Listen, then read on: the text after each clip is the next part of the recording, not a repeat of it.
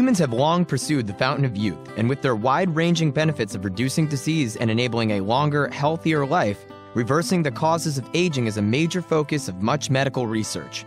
Normally, the process of aging in the human body starts at middle age, around 45. The process and its effects depend upon both the genetic as well as environmental factors. Aging causes some amount of reduction in the rate of human cell multiplication and also causes some of the cells to function inappropriately.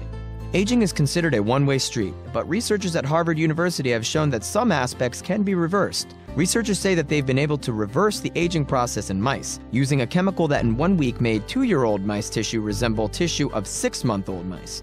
In human years, that's as if a 60 year old's cells became more like the cells of a 20 year old. The researchers have managed to reverse the effects of aging in mice using an approach that restores communication between a cell's mitochondria and nucleus. Mitochondria are the power supply within the cell, generating the chemical energy required for key biological functions.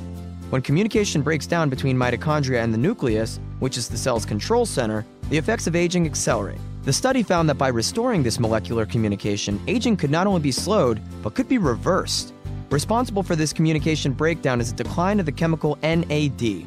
This chemical reduces in the body as we age. By increasing amounts of a compound used by the cell to produce NAD, the researchers found that they could quickly repair mitochondrial function, and that led to the radical reverse in the aging of the mice. They had more energy, their muscles were as though they'd been exercising, and was able to mimic the benefits of diet and exercise just within a week. Researchers say that the diseases they have come to expect of old age have been drastically reversed in mice. Even the younger mice showed benefits from the compound, making them supercharged above normal. The researchers say that a magic pill that reverses aging is several years away, partially due to the cost of the compound, which would be about $50,000 a day for a human. Reversing age isn't just to make people live until they are 200 or 300. The goal is to keep people healthier for longer and keep them from getting diseases of aging.